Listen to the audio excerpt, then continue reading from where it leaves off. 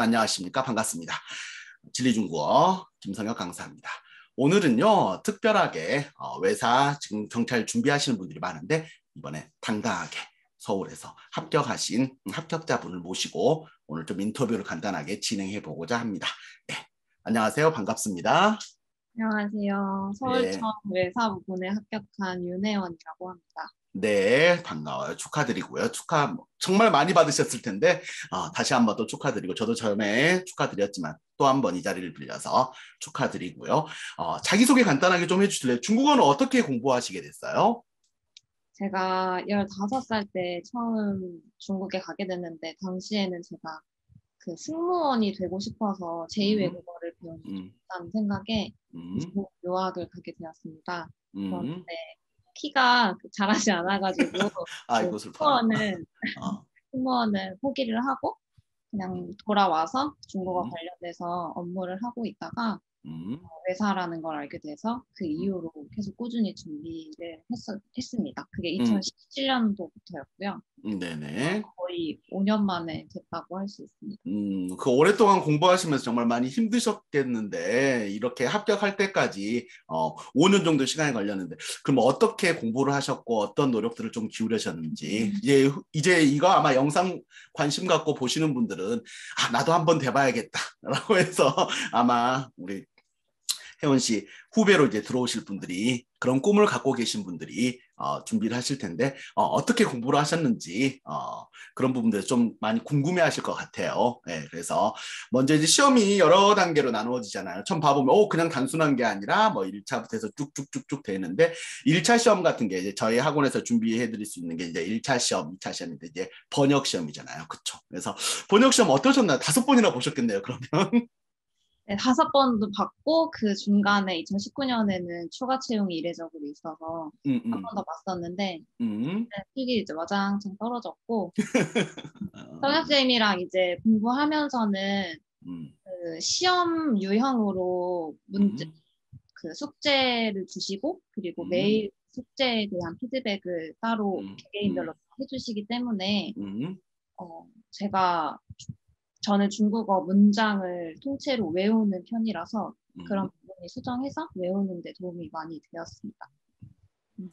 저 시험은 어떻게 나오죠? 다 알고 계시겠지만 더 한번 다시 한번 소개해 주신다면 그러니까 제가 소개 제가 소개해 드리는 것보다 보신 분들이 저도 요사 시험은 이제 나온 것들은 다 보고 이제 알고 분석하고 준비를 하지만 실제로 이제 가장 많이 많이 보셨으니까 시험 형태나 이런 것도 간단하게 소개해 주실 수 있으세요? 네. 네.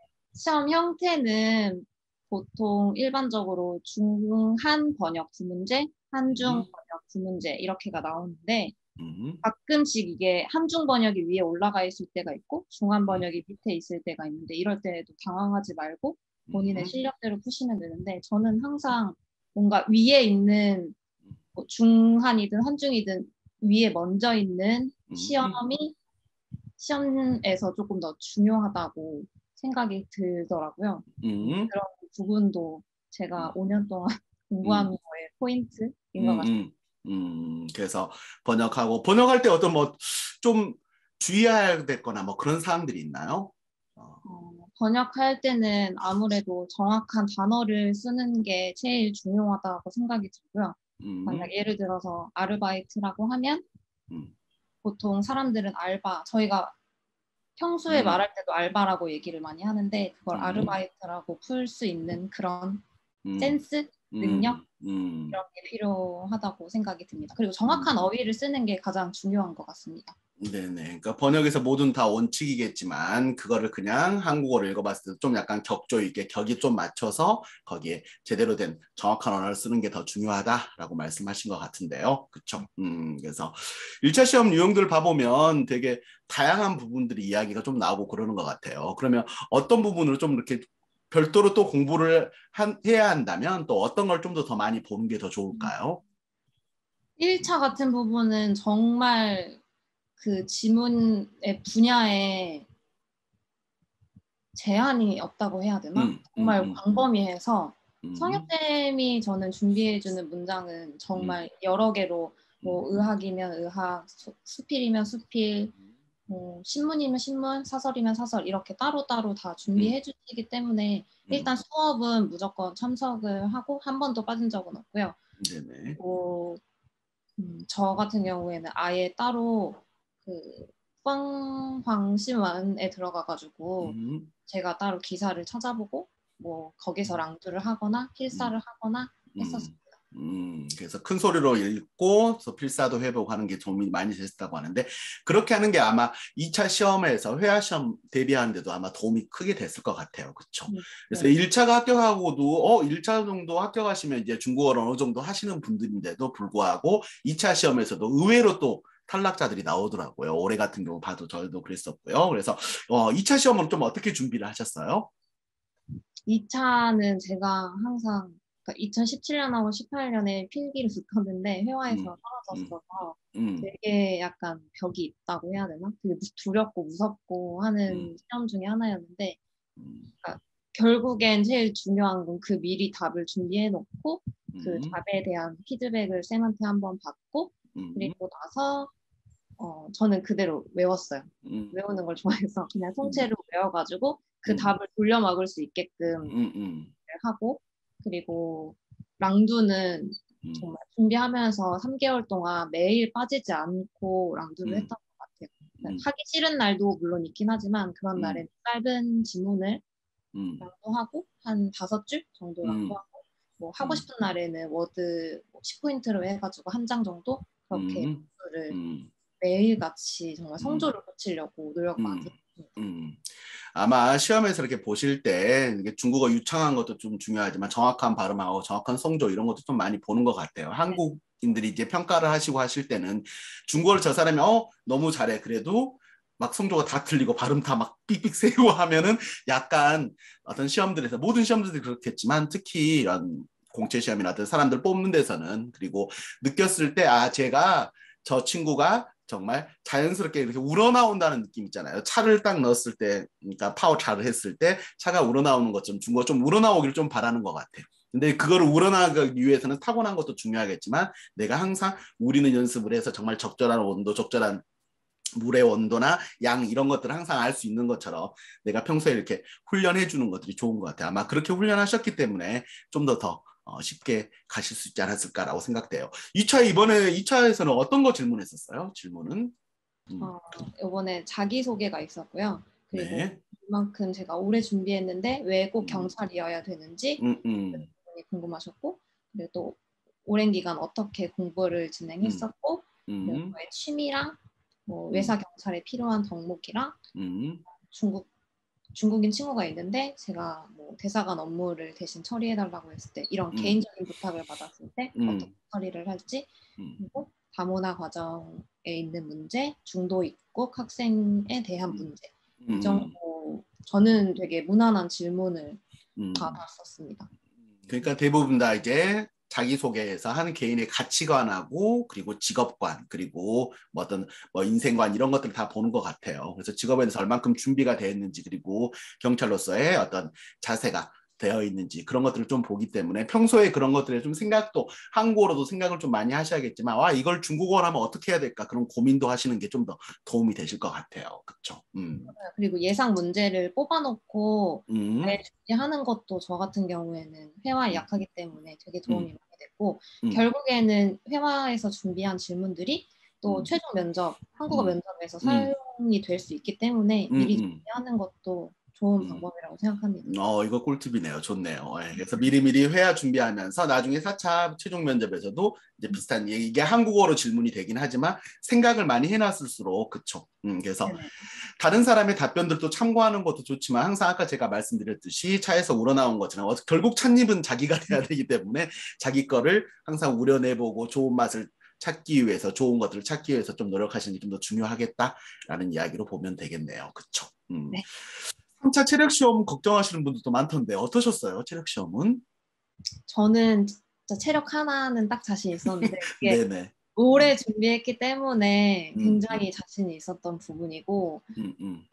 그래서 아직 현재도 배에 복근이 있을 정도로 오, 네 보여드릴 수는 없지만 네 어쨌든 아, 예, 예. 정말 열심히 했습니다. 그래서 팔굽혀 펴기도 정말 하나도 못했었거든요 처음에 했을 때는 근데 이제는 그냥 거뜬하게 만점 찍고도 남을 시간이 남을 정도로 그렇게 연습을 많이 했었고 저는 제가 생각하기에는 혼자 하시는 것보다 그냥 그 노량진 쪽으로 이동하셔가지고 쪽 체력 학원을 다니시는 게 뭐 센서 음. 같은 것도 많이 측정해 볼 수 있고 음. 그래도 일반 친구들도 만나면은 나중에 음. 4차 면접할 때 도움이 될 수도 있고 같이 하면서 음. 음, 그리고 또 그냥 외사도 가끔씩 있으니까 같이 공부하는 친구들도 만날 수 있어서 저는 그런 방향을 택했던 것 같습니다.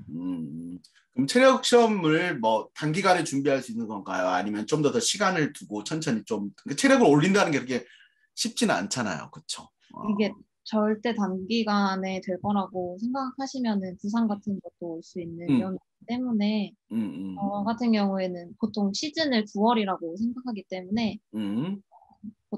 일반적으로는 시험이 3, 4월 정도에 음. 있으니까 자, 음. 그 전년 9월부터 천천히 체력을 끌어올리는 것이 부상도 안, 당하지 않고 그리고 좀 제가 여유롭게 할 수 있는 방법이라고 생각합니다. 그래서 음. 미리미리 다니는 게 가장 중요한 음. 것 같아요.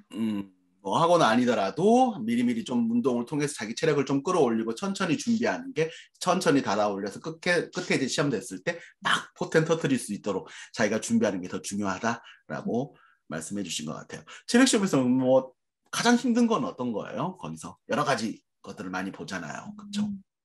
저는 악력이 안 느는 게 가장 힘들었고 음. 그거 늘리는 게 음. 여성분들한테는 악력 점수가 음. 높은 게 음. 가장 큰 그 점수 차를 벌릴 수 있는 것 같고요. 음. 이번 시험 같은 경우에는 되게 특이하게 음. 어, 아무것도 조정을 하지 못하게 해서 윗몸 일으키기 같은 경우에는 발판을 원래 저의 발목 사이즈에 맞게 조정하고 할 수 있었던 부분이었는데 음. 이번엔 아예 건드리지 말아라 해서 음. 되게 발가락만 끼고 음. 해서 정말 음. 그 중간에 빠지는 친구들도 많았고 어. 네, 그래서 저도 중간에 한번 빠지긴 했는데 그냥 음. 정신 부여잡고 안돼 하면서 막 네, 여기 정말 마지막이라는 생각으로 했기 때문에 음, 정말 음. 끝까지 다 했어요. 이게 음. 빠지던 말던 무조건 난 해야 되겠다. 음, 음. 주면 파울을 받는 거지 하면서 음, 열심히 했습니다. 그래서 좋은 결과가 있었을 것 같아요. 네. 있었던 것 같아요. 마지막에 또 은근히 또 많이 이렇게 탈락하시는 분들이 4차 최종 면접에서 그쵸. 어. 또, 어, 그냥 뭐 한국 사람이니까 한국어만 잘하면 되지 않아? 뭐 이렇게 생각하는 게 아니라 상당히 면접이 까다로운 것 같아요. 제가 보기에는. 여러 가지 이제 학생들을 봤을 때도 그렇고요. 음, 4차 준비는 어떻게 하셨어요? 음, 제가 작년 같은 경우에는 어, 그냥 친구들, 일반 공채 친구들과 스터디를 돌렸었는데 음. 그런 부분에서 피드백은 물론 주셨지만 제가 생각하기엔 어, 제가 기본적으로 가지고 있는 것보단 조금 더 플러스 해가지고 피드백을 음. 해줬으면 좋겠다 그 친구분들이 음. 음, 음. 그랬는데 그게 되지는 않더라고요 실제적으로 음, 음. 그래서 저는 작년에 그래도 면접은 나름 잘 보고 왔다고 생각했는데 또 뭐 점수가 낮았는지 떨어졌었고 올해 같은 경우에는 일반 친구들도 다 5월에 이미 시즌이 끝나서 들어가 학교에 들어갔던 상태라서 스터디가 불가능해가지고 학원에 결국엔 다니게 됐는데 음. 결국에는 그 학원 쌤과의 또 합이 잘 맞아서 제가 음. 어, 원하는 답변의 방향을 음. 잡아주시고 음. 음. 하셔가지고 중국어 회화했던 것도 여기 4차 면접에 잘 녹아들어서 음. 그렇게 준비를 했던 것 같습니다. 그리고 정말 수백 가지 질문을 다 대답을 한 번씩은 다 해가면서 아침 10시부터 저녁 9시, 10시까지는 음. 계속 스터디를 돌리고 말하는 음. 연습하고 고치고 음. 이랬던 것 같아요. 음, 계속 그렇게 계속 하다 보면 이제 자연스럽게 네. 익어지면서 원래는 아 이건 내 생각하고는 약간 다를 수도 있고 약간 내가 아, 이렇게까지 생각했나라고 하는 것들이 계속해서 반복되다 보면 어떤 자기 신념처럼 되고 그래서 약간 쇠뇌되는 것 같아. 그런 면접들을 좀 봐보면. 그래서 자기를 가장 좋은 모습을 보여줘야 되기 때문에 그리고 찰나의 순간 좀 짧은 순간에 자기를 응축해서 압축해서 보여줄 수 있어야 하기 때문에 그런 반복적인 훈련이 정말 중요한 것 같아요. 그렇죠. 4차 면접에서 가장 어려웠던 문제는 뭐였어요? 많은 문제들이 이제 이렇게 이렇게 나왔습니다라고 해서 합격 수비를 통해서 보여주셨지만 실제로 어 받았을 때 어, 약간 약간 당황스러웠거나 그런 문제는 없었나요? 아 준비를 워낙 잘해서 뭐 나는 그런 거 하나도 없었다 이럴 수도 있겠지만 어 하다 보면 어 이거, 이거 뭐야 뭐 약간 약간 당황스러웠던 거. 음. 제가 질문을 받았던 것 중에 네가 만약에 외사 경찰이 되면 어떻게 보고서를 쓸래? 라고 음. 해서 음. 당황을 했는지 어쨌는지 어떻게 음. 보고서를 쓸래 해서 음. 그뭐다 타 언어를 하는 동료들이 있기 때문에 음. 같이 협업해서 보고서를 작성하겠다라고 했는데 아니 그게 아니라 그래서 어떤 내용의 보고서를 쓸 건데라고 부르시더라고요. 그래서 그제서야 정신 퍼뜩 차리고 잘 대답을 했던 경험이 있습니다. 음. 그리고 이제 좀 중요한 것 중에 하나가 가산점 준비잖아요. 그렇죠? 어, 가산점이 이제 있으니까 그 전에 뭐 쓱, 쓰기나 뭐 다른 것들 통해서 이렇게 가산점 다 차곡차곡 챙기시는 것도 중요하다라고 말씀하신 것 같은데 어, 가산점 준비는 어떻게 하셨어요? 저는 원래 워드랑 실용 글쓰기로 6점을 음. 채워놓은 상태였었는데 실용 음. 글쓰기가 갑자기 음. 만료가 되면서 음. 어, 제가 정신을 못 차려서 실용 글 쓰기를 바로 봤는데 점수가 음. 안 나오더라고요. 음, 음. 그래가지고 어쩔 수 없이 또 이제 외곽으로 가서 70만 음. 원을 주고 음. 일종 대형 면허를 급하게 일주일 만에 따 체력 시험 전에 따가지고 또 가산점 5점은 무조건 채워갔습니다. 이게 가산점 1, 2점으로 정말 이 공무원 시험은 0.1점 차이로 당락이 결정되는 경우가 많다고 들었기 음. 때문에 음. 제가 할 수 있는 범위 안에서는 음. 무조건 다 채워가는 게 좋다고 생각이 들어서 음. 항상 다 채워 놓은 상태였습니다. 음, 그러니까 이게 꼭 필요하다는 거죠, 그렇죠? 그리고 이제 네. 아 처음에 좀 말씀드려야 될 게 이게 가장 기본인데도 놓치시는 부분들이 일종 보통 면허가 있어야 되잖아요, 그렇죠? 네, 맞아요. 음, 어, 근데 이제 또... 이거를 어 이거를 생각 못했다가 나중에 시험 볼 때 시험 접수 전에 쌤 일종 있어야 되는 그거 몰랐나요? 저도 이렇게 말한 적이 있거든요. 실제로. 학생이 열심히 공부하다가 이제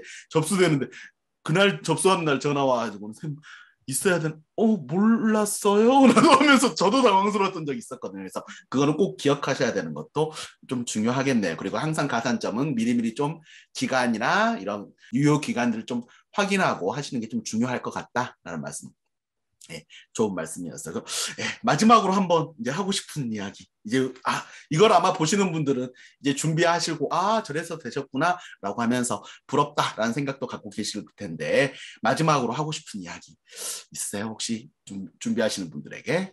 음. 어, 제가 엄청나게 뛰어나게 잘해서 이 자리에 온 거라고는 생각하지 않고 제가 2017년부터 정말 포기하지 않고 이거 하나를 위해서 어, 중간중간에 우여곡절이 많았지만 열심히 노력한 덕분에 제가 포기하지 않은 덕분에 이 자리까지 올 수 있었던 것 같습니다. 그래서 음, 제가 준, 이 시험을 준비해 본 결과 하나 하나의 관문이 다 높은 관문에서 높은 점수를 받아야지 결국에 합산을 했을 때 뭐 1등이든 2등이든 그렇게 당락이 결정되는 거기 때문에 하나하나 소중하게 생각하시고 정말 진심을 담아서 하신다면 언젠가는 꼭 원하는 목표에 가서 저처럼 경찰이 될 수 있을 거라고 생각합니다. 네. 앞으로 이제 가셔서 9월에 이제 입교하셔서 4개월 정도 훈련 받으시고 또 여러 일들을 하실 텐데 어, 또뭐 현장에서 더 멋진 모습도 보여주길 기대하고요. 다시 한번 축하드리고요. 오늘 또 이렇게 바쁜데 시간 내주셔서 감사드리고요. 음, 다음에 또 경찰 되셔서 한번 찾아오시면 맛있는 거라도 한번 제가 또 대접할게요. 네, 다시 한번 축하드리고 오늘 인터뷰 주셔서 감사합니다. 감사합니다. 네, 감사합니다. 음.